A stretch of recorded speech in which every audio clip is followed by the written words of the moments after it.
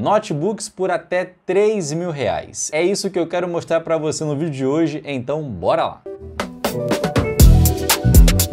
Os notebooks estarão ordenados por preço, então eu vou começar do mais barato e até o mais caro. E todos os modelos terão o link na descrição ou no primeiro comentário fixado para ajudar você a comprar o modelo certo, porque o nome entre muitos modelos são parecidos e assim você consegue adquirir aquele ao qual realmente eu estou aqui recomendando. E eu quero aqui começar com esse notebook aqui da Asus, que é o X515 com esse final aqui.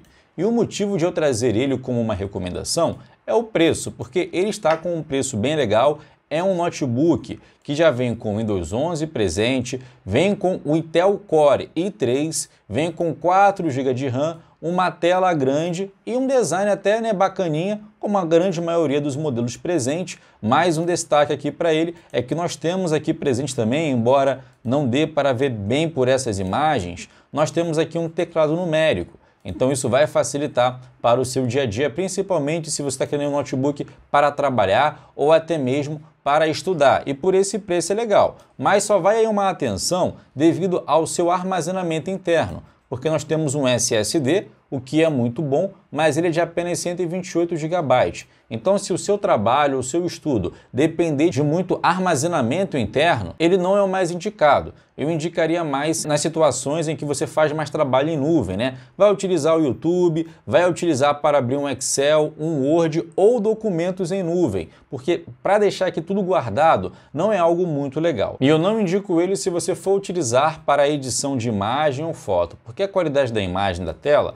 é uma tela HD, mesmo que ela tenha um tamanho legal, não é uma boa resolução, então não vai ser o ideal para você fazer isso como tarefa, tá bem? Temos até um modelo que seria superior a ele, que é esse daqui que já está até aparecendo aqui para mim como destaque na Amazon, que é a Amazon que eu estou aqui utilizando como loja, porque eu gosto dessa loja, uma loja que traz realmente um preço mais em conta muitas vezes e também os fornecedores normalmente são confiáveis. Ó, ele traz aqui uma recomendação legal, que é uma escolha bem grande de ter na Amazon, que é esse notebook aqui. E é compreensível até o motivo, porque aqui ó, a gente tem o dobro de SSD, o que acaba sendo bem legal, o dobro de memória, que 4 GB de RAM eu até coloquei aqui como indicação devido ao preço, mas não é o mais recomendável se você pensa em comprar um notebook para utilizar em longo prazo. O mínimo aí aceitável seria 8 GB de RAM e o restante dos componentes são praticamente a mesma coisa do modelo anterior. Agora o próximo modelo é esse da Lenovo com esse código aqui que para mim é uma boa opção para você comprar por menos até de 3 mil reais. Esse Lenovo IdeaPad 3i, ele vem com o processador i5, que acaba sendo algo bem legal. Ele é o i5 de 11ª geração, então é um dos mais atuais do momento. Nós temos também 256 de SSD, 8 GB de RAM e ele é compatível, vamos ver se aqui embaixo fala, embora eu tenha pegado a informação detalhada com a própria fabricante que ele é compatível para colocar até mais memória RAM. Olha só, aqui vem informando, ó, máximo de memória RAM compatível 24 e agora, né, ele já vem de fábrica com 8 GB. Não é uma memória qualquer não, nós temos aqui uma velocidade de memória bem legal, de 3.200 MHz, mesmo que aqui acabe não informando para gente. Ó, temos uma tela Full HD, então você acaba tendo uma qualidade legal, embora não seja também um notebook ideal para você que quer utilizar para edição de vídeos e imagem, porque a qualidade da tela é boa, mas o tipo de tela em si não é tão legal, já que temos aqui uma tela TN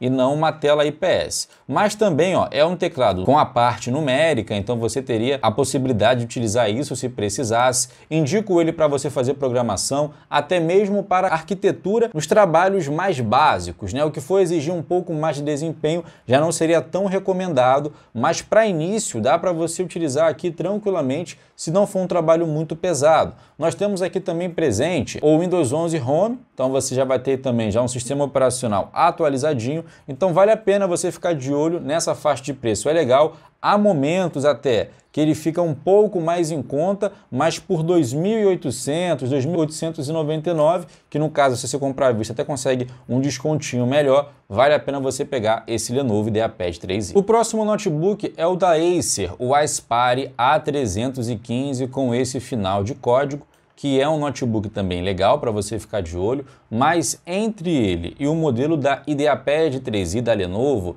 eu indicaria mais o modelo da Lenovo. Nos aspectos gerais, eles são praticamente a mesma coisa, só que temos aqui duas diferenças.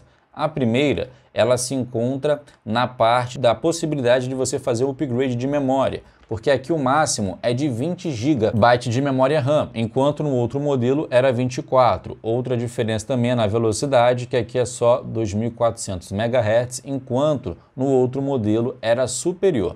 De resto, nós teremos praticamente aí as mesmas configurações. E como ele até está um pouco mais barato no momento, compensa você sim ficar de olho nele, vai ter aqui pô, um processamento legal. Você basicamente vai conseguir fazer a mesma coisa no outro modelo, com a diferença que aqui a memória ela acaba sendo um pouco menor e numa velocidade menor também. Mas ó, um design bem bacaninha. Aí você, né, opta em potência ou em design, né? Veja o que mais te agrada. Mas agora eu quero saber de você. Comenta aí para mim qual desses modelos você mais se interessou. Tem algum deles que você achou mais bonito? Parece ser mais atraente? Eu quero saber aí a sua opinião e eu vou ficando por aqui.